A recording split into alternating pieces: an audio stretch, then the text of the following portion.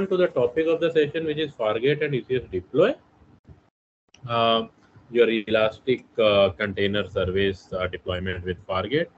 What is Fargate? Uh, apart from infrastructure, if you want to deploy uh, your applications, we use the AWS Fargate. Uh, basically reduces the overhead for thinking about cost because Fargate scales and uh, it matches your resource requirement.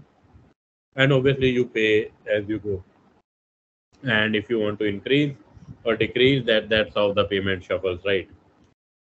So, uh, easily it can be easily integrated with your CloudWatch, CloudTrail, AWS services, right? So, making the architecture less complex, we can manage ECS with EKS, right? Uh, basically used for uh, architectures where we have a whole lot of APIs, a whole lot of microservices, or web app serverless applications, right? If you want to scale our containers, if you want to, uh, you know, have easy easier integration with CloudWatch, CloudTrail, and monitoring services. Uh, basically, payment on the go, on the go. That's how we'll, or that's where we'll use end up using Fargate, right? Uh, so I'll do one thing. I'll uh, pass on to Vikas. Uh, over to you, Vikas. Uh, thank you, sir. And welcome to the session. So I'm sharing my screen.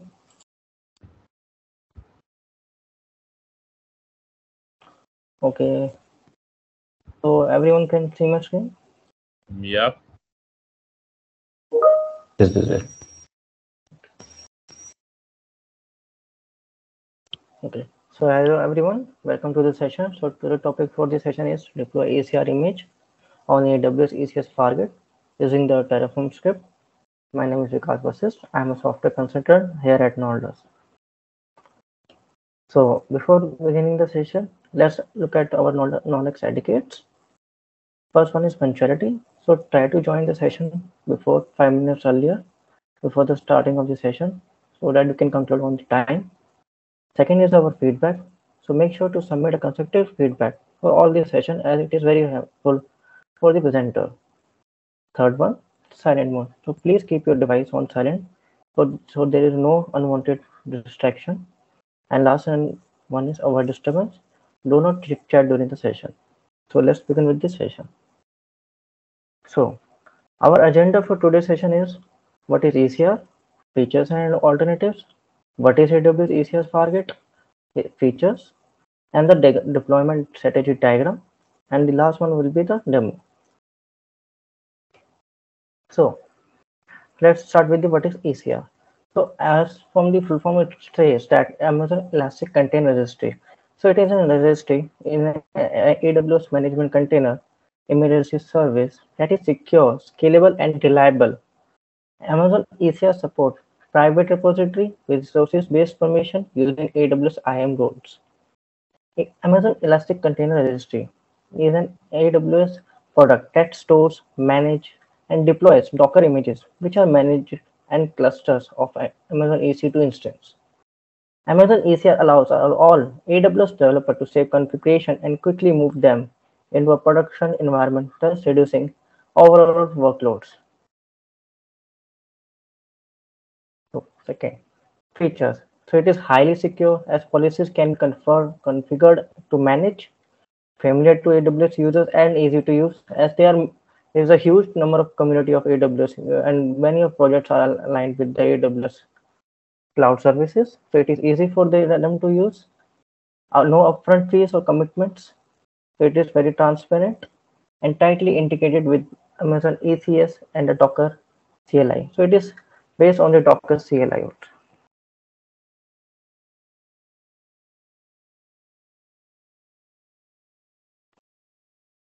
So before beginning to the next part, eh, so let me come up with this some point like it is enhanced security. For example, using the credentials of IAM users, we can only use the ECR images. So some of the alternatives of EC are because because your voice is breaking. one second.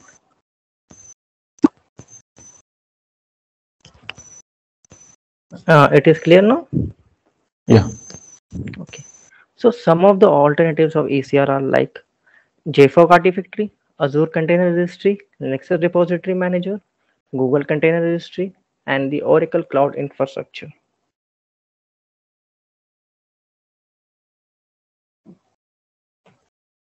So come up with the next topic that is what is AWS ECS Fargate. So AWS ECS Fargate is a technology that you can use with the Amazon ECS to run the containers without having to manage servers or clusters of Amazon EC2 instance. With AWS Fargate, you no longer have to provision, configure, or scale clusters of virtual machines to run containers. This removes the need to choose server types, decide when to scale your cluster, or optimize cluster packaging. When you run your tasks and services with the Fargate launch type, you package your application in containers specific the CPU and memory requirements, define network and IAM policies, and launch the application. Each Fargate task has its own isolation boundaries and does not share the underlying kernel, CPU resources, memory resources, or ease or elastic network interface with another task.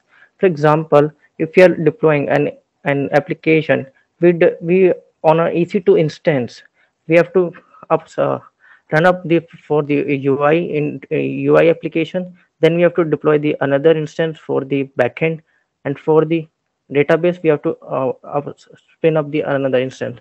For using the ECS Fargate, it will manage all the all the application resources under its own and run the sim of the con- containers by its own. So it, so it, it is not bother about the developer to how it will the application will perform. So features enhance security. ECS has built-in security. All of the images are stored in a container registry that is only accessible through HTTPS because they are truly encrypted and can only be permitted by identification and management standards. It saves money. We can obtain a high density of an on an EC2 instance thanks to the ability to schedule several containers on the same node. Extensible since the environment won't matter because it will be contained inside a container, the program will function precisely as it did in the past. AWS is Fargate is integrated with Amazon ECS. You will not have to worry about performing host management planning or learning about task segregation safety for containers. If you mainly specify your user's requirement and choose it as your launching option in the terminal or CLI needed to execute the container, Fargate will start taking care of all your scaling and architecture.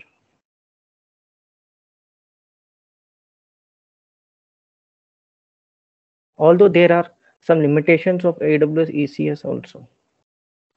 You can you can't alter the instance type or size when hibernation is enabled. When you hibernate an instance, the data which is stored in the instance is lost.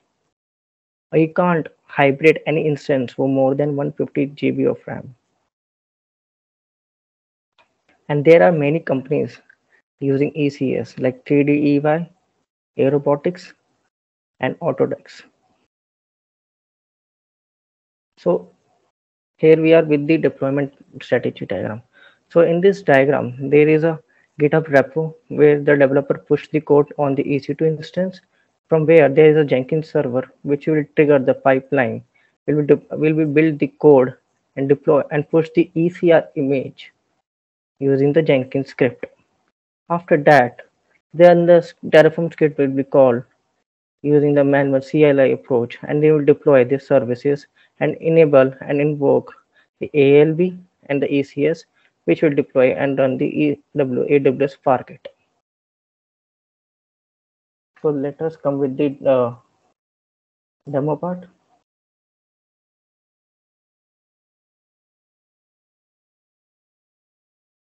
So here we have a running Jenkins master. First we need to connect to it.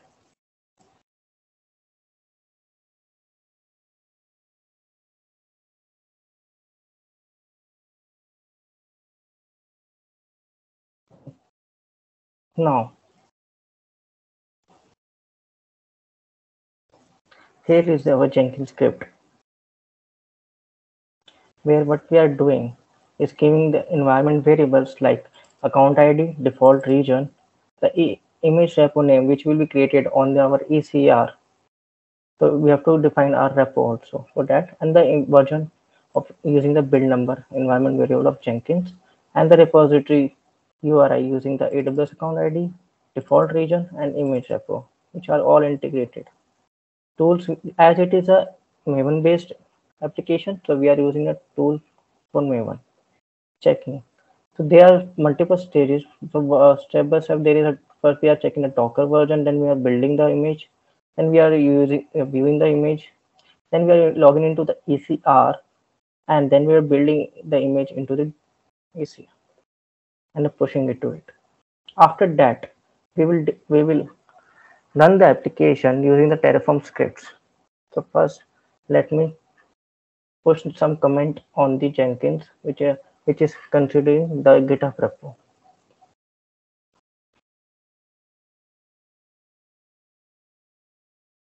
So this is our the repo.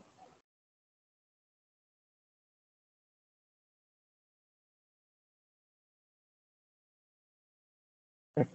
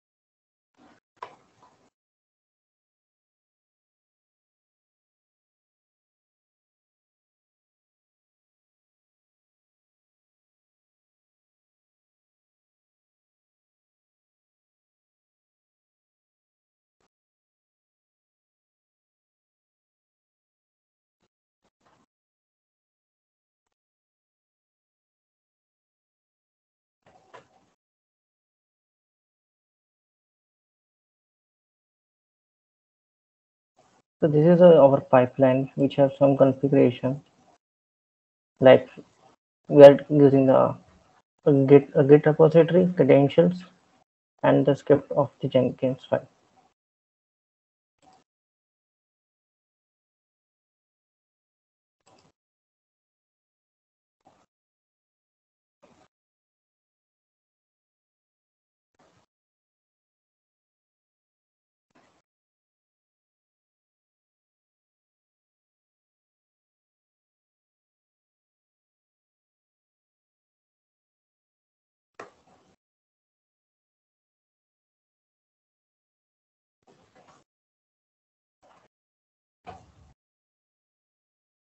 So I'm committing one comment.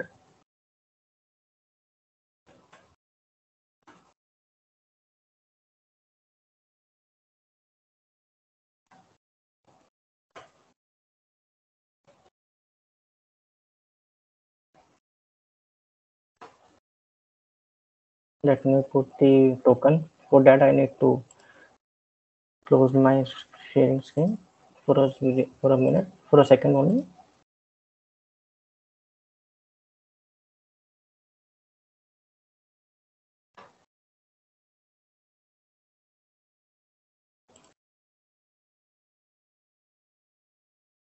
So I push one commit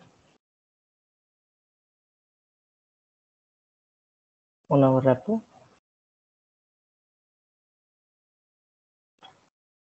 So there is a new commit. We will build the pipeline.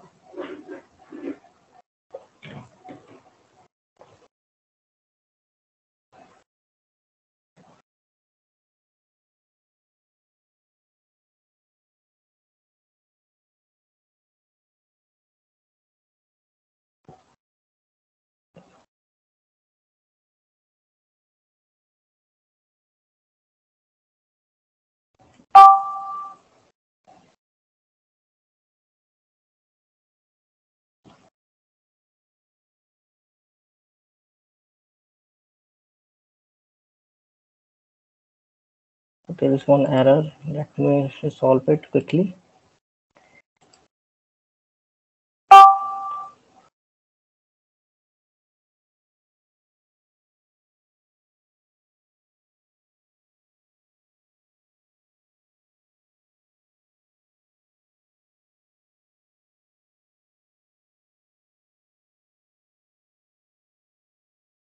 Let me rebuild the pipeline.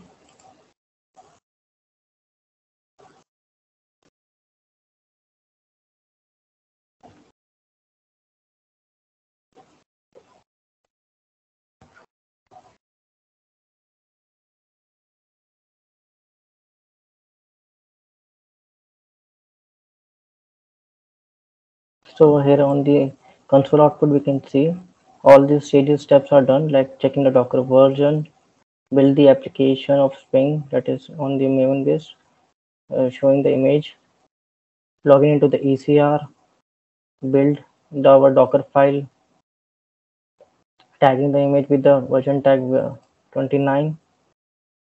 That is our current build number and pushing it to the ECR. So here on our ECR, we have a repository with the name sample demo. We have 27 build. If we refresh, we will look at and we find that we have a version number 29. Now, and for as for now, there is no ALB created. No cluster has been created for ECS, and there is no task definition and no CloudWatch. So now using our variables file, we will just change the version tag number that is v29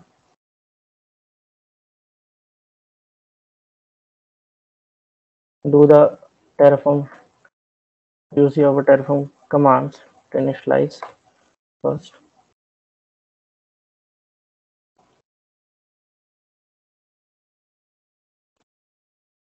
And we will show up the plan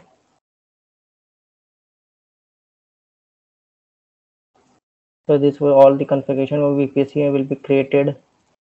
Subnet public IP will be created. Subnet public IP, private, all the things will be there. ECR task, root table. I will explain also the scripts. First we'll see the practical one.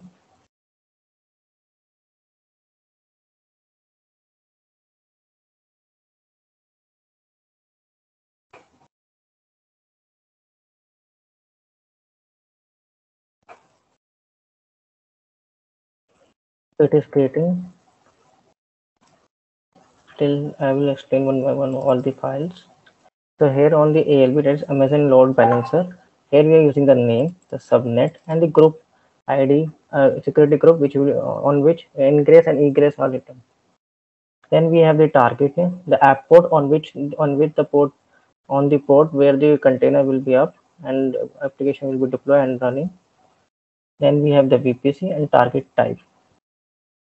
Then we have some healthy checks. How the interval will be do, how will be the protocol, matcher, timeout, and path. Then when we, will have an ARN, Amazon Load Balancer, and the port and the listener. And there will be having default action that is our target group. Then on the ECS, we will give the name of the cluster. Then there we have a JSON file for it, written all the configuration of how many CPU and uh, usage of RAM will be there application in the of uh, image of which image we'll be using. That we are using a version of 29 of jenkins build number. Application port target cpu target memory and the AWS region. Like on then in the AC, ecs task definitions we will give the name of the family of the ecs task. The im role network mode network task uh, task definition requires compatibility cpu and memory and on the AC ECS service, we will give the name, cluster ID, task definition, ARN, app count, how many of containers will be up on how on the application be running. So here we have given the three. Let's say you can see here. And the service longest type, launch type, it is our Fargate. And assigning the public IP is, is enabled, that is true. And there will be a load balancer name, container, and port. Then we will have a small file which is using the logs for, for the CloudWatch, tension policy, name of the file, and the group name. Here have some network configuration that are using a CIW 172.17.0.0 slash 16. Easy count, it is our, our the private count for the subnet. Availability zones, VPC main ID, internet gateway,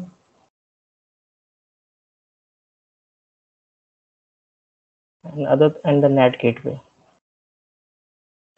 So output they will be given a ALB host name that will be the DNS from where we will hit and see how our application is performing. Provider for we have some credentials that are also stored in variables file, access key, secret key, and our region.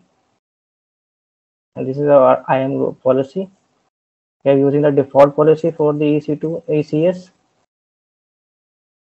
and some ingress and egress security groups which are compatible with our application.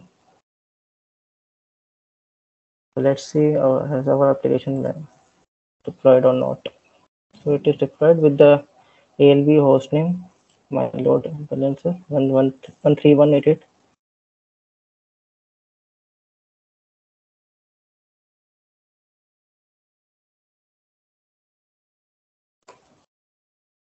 So after hitting on the application DNS, it is running so I've taken this example from internet. So I will hit the name and it will show me the guys welcome to Cavotec regular CCS example. And here as there were no log group uh, log group and no task definition cluster or ALB was created after running our Terraform script all the things are are up. We have our ALB we have our cluster which are running our three current tasks on single service. We have our task definition.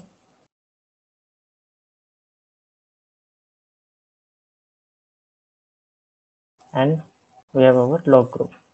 Here we can see how our application is performing.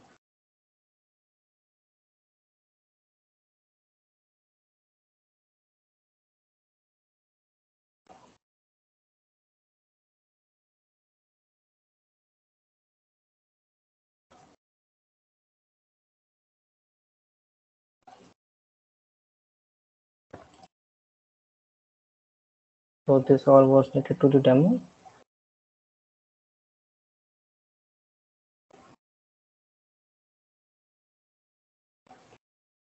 Uh, any questions?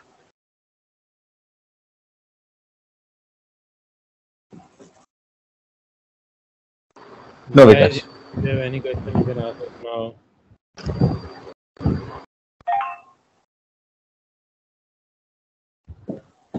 I think it was a very good session with the demo. If you have any query, you can contact me also. vikas.pasich@denoldos.com.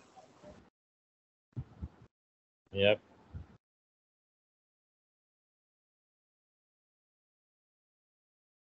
Guys, if you don't have any question, we'll probably wrap it up early then.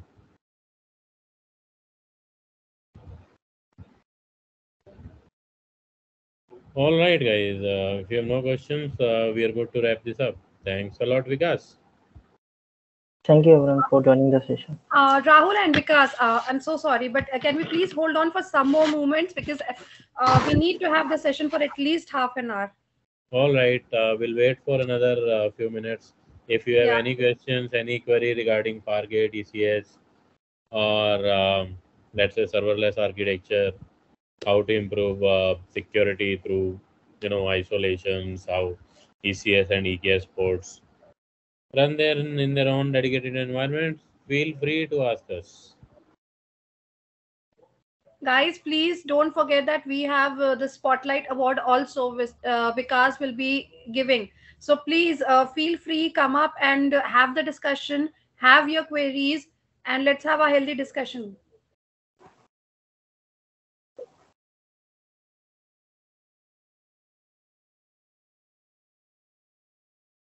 Nobody has any queries. This is amazing. You are amazing, Vikas. I'm sure the session is wonderful. That's why nobody has any queries. Uh, but then, if uh, nobody has any queries, then maybe you or Rahul might share some of uh, the new insights about the topic.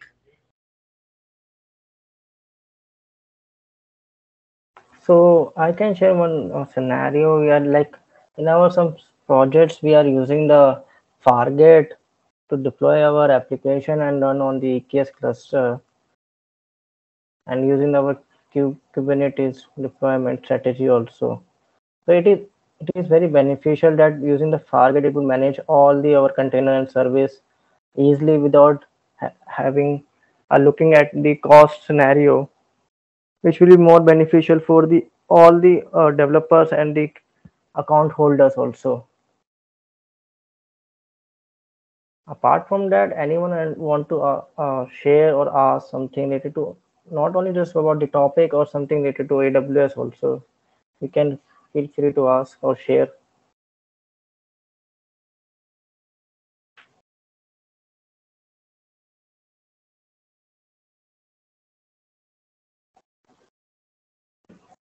Rahul, uh, probably you might also uh, add up some insights about the topic. Yeah, sure, guys. Um, uh, if you already know, we already are using Fargate in Ostra um, in in a couple of more projects as well. So uh, if you see uh, the use case, uh, they are different in both the projects, right? So we probably end up using Fargate with ECS or EKS uh, depending on what our needs. So if you want to pay only for, uh, you know, you know, depending on the infrastructure, right? If if we have a bigger infrastructure, when provisioning is a problem where um, uh, provisioning every day and we are worried about cost, I, I think that's a good example wherein we can use uh, right?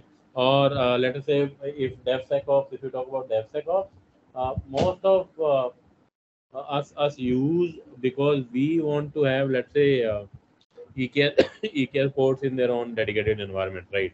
So that sort of isolation, um, uh, Fargate provides by default, right? So we don't have to do anything else in that.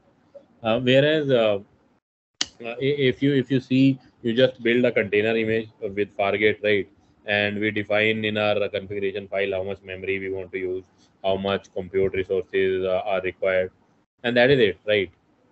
That is the only only thing we have to do. As soon as we do that, we'll probably pay only uh, uh, as we go on the run, right? And as I said earlier as well, if we have a lot of web application wherein we have multiple APIs, millions of API heads and microservices, and most probably serverless architecture, let's say we do not want to use Kubernetes as well. I think that's where we can use it as well. So uh, Amazon ECS uh, also provide Windows containers if we if we want to use them. Um, most probably with .NET um, environments, but uh, uh, you know, uh, looking at uh, the previous use cases I personally worked on, um, I probably will use it at you know um, from a management point of view, right? if you want, if I want to have a look at the cost, if I want to have a look at just my application, not as an infrastructure, because infrastructure I can probably manage with infrastructure as a core tool, right? With Ansible or Terraform if they have, right? Uh, but if I if I want to deploy and manage only my application, and if I have a developer uh, who knows how to use it, he'll probably end up using uh, uh, AWS services as well. For example, for monitoring, because it it would be easier for them to integrate CloudWatch, CloudTrail, right, or um, Container Insight, right, and then we can probably have a better synergies between the teams, right? So uh, that's how I, I I'll probably look at the use cases of uh, Fargate. If you have any any questions around them, if you have any questions around security or cost optimization, you can probably ask us right away, or you can have our email ID devops at the rednolders.com. We can uh, we can communicate over that as well. So guys, I, I hope uh, this session made sense to um, um, a lot of uh, you. Uh, I hope um, uh, it made sense to you. It may you might end up using it uh, somewhere in your career. Um, so yeah, thanks a lot, Vikas, for the session. Um, yeah, thank you, Rahul. Thank you, everyone, for joining the session. Thanks, Vikas. Thanks, Rahul. Thanks, everyone. All right, guys. Thanks a lot. Bye, Bharti. Bye, everyone. Bye, Rahul.